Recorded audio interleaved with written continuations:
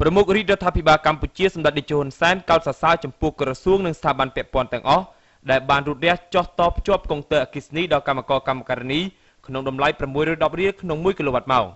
ទន្ទឹមនឹងនេះសម្ដេចបានពៀមនាវឲ្យម្ចាស់ផ្ទះជួលលក់ទឹកបន្តឲ្យនិស្សិតនិងកម្មករគឺរវាងពី1100រៀលទៅ1200រៀលក្នុង1ម៉ែត្រគូបជាពិសេសក្រសួងពាក់ព័ន្ធសូមលក់ទឹកជូនម្ចាស់ផ្ទះជួលក្នុងតម្លៃ1030រៀលក្នុង1ម៉ែត្រគូប សម្ដេចតេជោហ៊ុនសែនសូមអរគុណចំពោះម្ចាស់ផ្ទះជួលទាំងអស់ដែលបានយកចិត្តទុកដាក់និងសហការជំរុញឲ្យដំណើរការនេះប្រព្រឹត្តទៅដោយរលូននិងឆាប់បំផុតដើម្បីជួយសម្រួលដល់ជីវភាពរស់នៅរបស់កម្មករនិងនិស្សិតឲ្យបានធូរស្រាលមួយកម្រិតធំ។